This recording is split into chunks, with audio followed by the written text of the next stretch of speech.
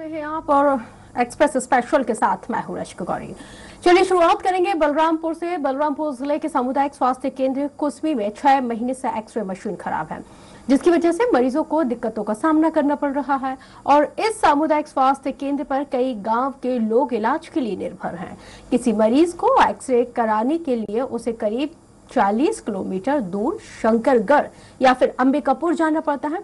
इधर सामुदायिक स्वास्थ्य केंद्र प्रबंधन एक्सरे मशीन को ठीक कराने को लेकर कोई सुध लेने के लिए ही तैयार नहीं है। परेशानी हो रही है लेकिन इसके लिए नया एक्सरे इंस्टॉल होने का प्रक्रिया वो चालू हो गया है वो जल्दी नया एक्सरे मिल जाएगा विभागीय सपोर्ट बहुत अच्छा मिल रहा है और जल्दी से ही हमको नया एक्सरे मिल जाएगा। उसके लिए हमने डिस्ट्रिक्ट अथॉरिटीज़ को भी बता दिया और वो भी जल्दी ही इसे प्रोवाइड करा देंगे। सुनील पासवान जुड़ गए हैं संवाददाता बलरामपुर से इस वक्त हमारे साथ सुनील कब से ये एक्सरे मशीन खराब है? जी मैं बता दूँ कि सामुदायिक स्वास्थ्य केंद्र कुसमी का छह माह से एक्सरे मशीन खराब पड़ी हुई है। वहीं मरीज़ काफ़ी परेशान परेशानियों का सामना करना पड़ रहा है। और जबकि कुसमी स्वास्थ्य केंद्र में कई गाँव के लोग इस कुसमी सामुदायिक स्वास्थ्य में आते हैं इलाज कराने। और इसी पर निर्भर भी रहते हैं। अगर इनको थोड़ा भी चोट लगती है तो एक्सरे करवाने के लिए 40 किलोमीटर शंकरगढ़ या तो फिर नहीं मेरा सवाल ये कि कितना वक्त हो चुका है एक्सरे मशीन खराब पड़ी हुई है और जो बाइट हम अधिकारी की डॉक्टर की देख रहे हैं सुन रहे हैं दर्शकों को बता रहे हैं वो कह रहे हैं कि उनको भरपूर सहयोग मिल रहा सहयोग मिल रहा है जिला अस्पताल की तरफ़ से या स्वास्थ्य विभाग की तरफ़ से तो अब तक जो एक्सरे मशीन है, वो इंस्टॉल क्यों नहीं हुई?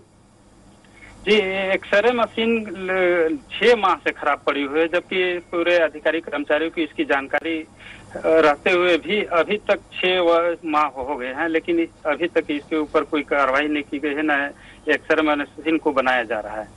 तो क्या दिक्कत आ रही है? क्योंकि जो डॉक्टर साहब हैं उनसे जब आपने सवाल किया तो उन्होंने बाइट में इस बात का ज़िक्र किया है कि सहयोग मिल रहा है। बहुत जल्द एक्सरे मशीन को इंस्टॉल कर लिया जाएगा। जब सहयोग मिल रहा है तो अभी तक इंस्टॉल इंस्टॉलेशन का जो काम है वो क्यों नहीं हुआ? उसका लाभ मरीजों को क्यों नहीं मिल रहा है फिर?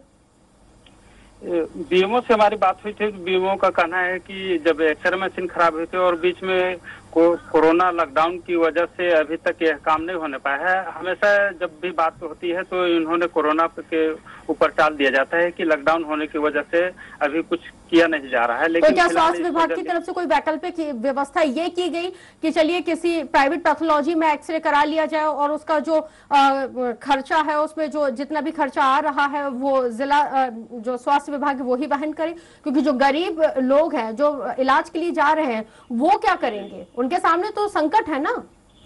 जी उनको उनके पास जब स्वास्थ्य विभाग में जाते हैं तो आपको रोकना चाहूँगी इस वक्त हमारे साथ डॉक्टर बसंत सिंह सीएमएचओ जुड़ गए हैं। बसंत सिंह जी बहुत स्वागत है आपका हमारे साथ जुड़ने के लिए।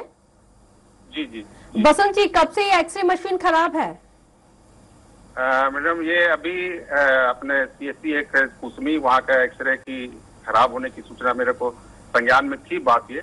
पर अभी एक दो महीना लॉकडाउन के चलते हमारे जो मेडिसिन हेल्थ केयर सर्विस जो होता है इसको बनाने का हम्म। ये लोग तीन चार बार इस वक्त दरम्यान आया उसको सुधारने का प्रयास किया हाँ। अल्टीमेटली इन्होंने अब उसको कंडम घोषित कर दिया है। नहीं तो अब अल्टीमेटली अब कंडम घोषित किया है। अब नई एक्सरे मशीन आएगी फिर उसका उसको इंस्टॉल किया जाएगा। स्थिति आप लोगों को पहले से ही पता थी। जिम्मेदार पद पे हैं सीएमएचओ हैं। आपको तो तमाम आपके अंडर में तो न जाने कितने पी, ये पीएससी आती हैं कितनी सामुदायिक स्वास्थ्य केंद्र आते हैं। आपको तो जानकारी है। उसके बाद भी अगर इस तरह से लेट लतीफी हो रही है तो बसंत जी इस वक्त जो गरीबों का नुकसान हो रहा है और जो गरीबों जिन लोगों की जान जा रही है उसकी ज़िम्मेदारी किस पर फिर? नहीं इस संबंध में हम लोग पहले से एक्टिव हैं। अब मेरे संज्ञान में है बात। और तीन चार बार इसको बनाने का प्रयास किया है। अभी शासन पे अपने डायरेक्टरेट में प्रक्रिया में है। शीघ्र ही वो मशीन नई मशीन आएगी वहाँ से सीजीएमएससी से।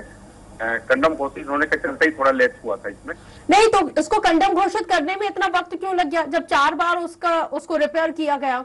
और उसके बाद भी जब वो ठीक नहीं हुई, फिर लॉकडाउन आ गया, फिर तमाम चीज़ें, कहीं ना कहीं इस लेट लतीफी का खामियाजा तो उन गरीब उस गरीब तबके के मरीजों को भुगतना पड़ रहा है, जिनके खाने के लाले पड़ रहे हैं और जिनको 40 40 50 और 60 किलोमीटर दूर जाकर एक्सरे करवाना पड़ रहा है।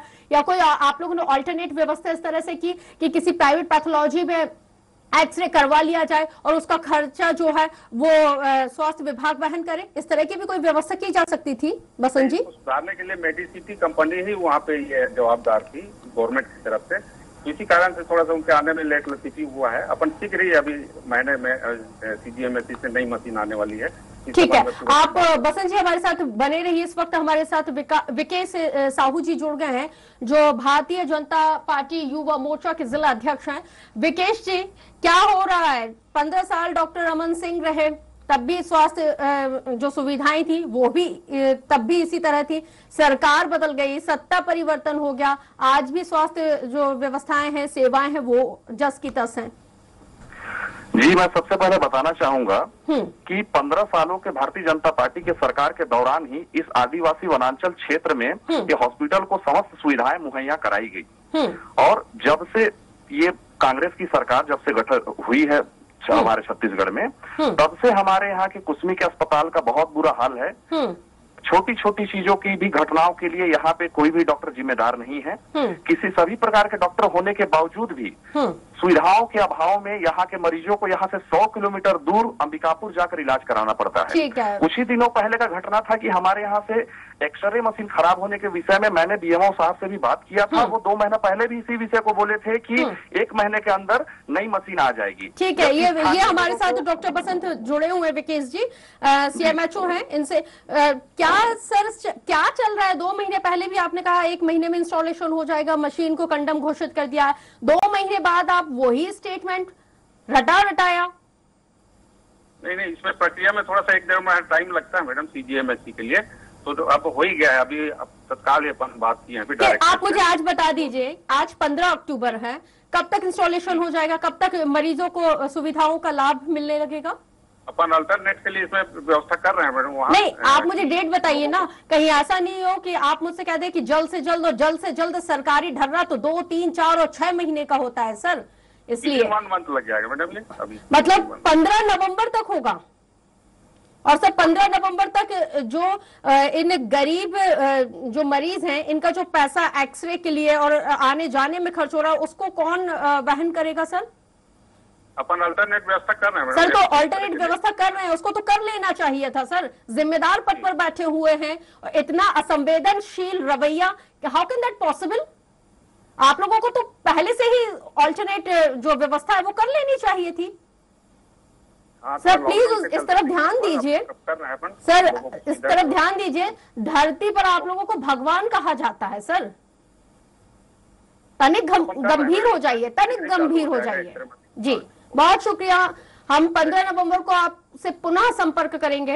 अगर जिस व्यवस्था की बात आपने की है, अगर वो व्यवस्था नहीं होगी तो हम आपसे फिर पुनः सवाल करेंगे। बहुत शुक्रिया बसंत जी, जुड़ने के लिए। विकेश, बहुत शुक्रिया। सहयोगी जुड़े हुए थे, उनका भी शुक्रिया।